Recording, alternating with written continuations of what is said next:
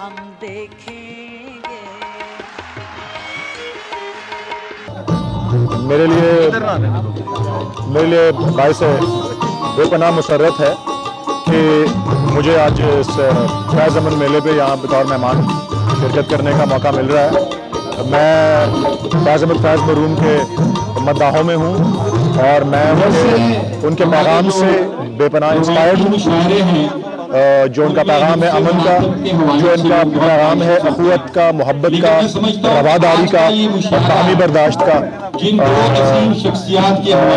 میرے خیال میں پاکستان کی تاریخ میں اگر کوئی وقت ہے تو اب ہے کہ وہ اتنا زیادہ ریلیونٹ اور اس کے علاوہ عوام دوستی کا پیغام جو ہے ان کا، جو مساوات کا اور اتحاد کا، وہ بھی بے پناہ جو ہے پاکستان کو اس سے مثال رہنے کی ضرورت ہے۔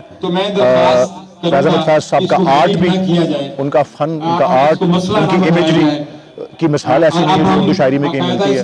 اور ہم سب کو تمام جنریشن اس سے سبق اور انسپریشن لینے کی ضرورت ہے۔ مجھے اپنے والد محترم سے ہمیشہ ایک شکایت رہی تھی۔ انہوں نے بہت سے دانشوروں سے ملوایا تھا۔ جب ہم چھوٹے چھوٹے ہوتے تھے صوفی تبسم صاحب مجھے یاد ہے جو فیض کے استاد تھے لیکن فیض سے کبھی ملاقات نہیں ہوئی۔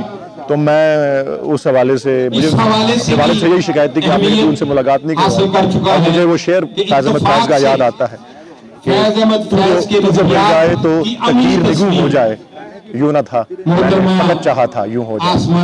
اور بھی اپنے زمانے میں محبت کے سفا راحتیں اور بھی ہیں۔ وصل کی راحت جو فیض کی ولادت کا مہینہ تھا۔